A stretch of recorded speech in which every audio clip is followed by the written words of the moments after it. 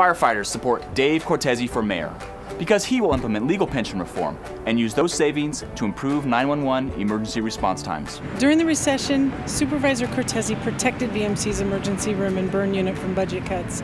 He made the right decisions to keep us safe. Dave Cortese will restore homework centers and library hours. Don't we deserve a mayor that will bring San Jose together and work to make our neighborhood safe again? Vote Dave Cortese for mayor.